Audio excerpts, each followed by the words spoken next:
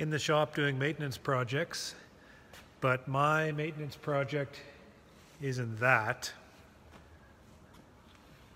It is that.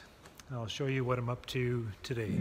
Just going through regular maintenance on this machine. And typically every couple of years I give it a paint job and such, lay some grease onto it, change that bearing over there. Because I take it out every year, so I like to change it through the winter and not when I'm out in the bee yard.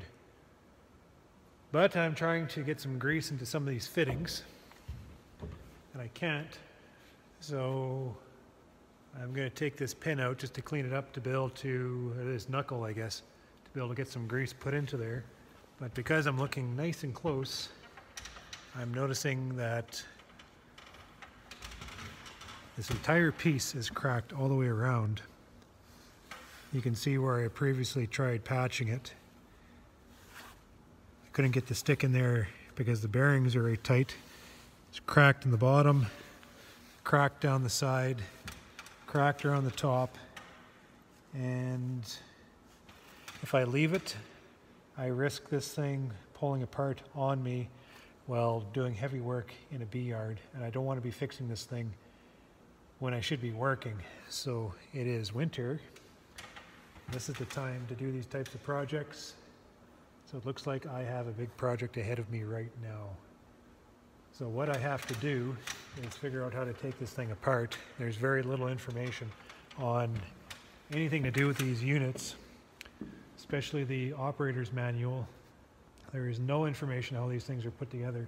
So I'm just going to have to figure it out. It looks very simple. What I have to do is, I've already re replaced a seal on the top of here. You can see a bunch of oil and such hydraulic oil. It's because the seal went and it was just giving a slow leak. So I've already taken this apart, replaced that seal. So what I have to do is take this assembly off again, bring the uh, lift, lift this boom, take this bearing apart to be able to lift this whole part off, take this off out of the bearing, and somehow thread, find out how they threaded the hydraulic hoses within the swivel attachment to be able to bring everything apart.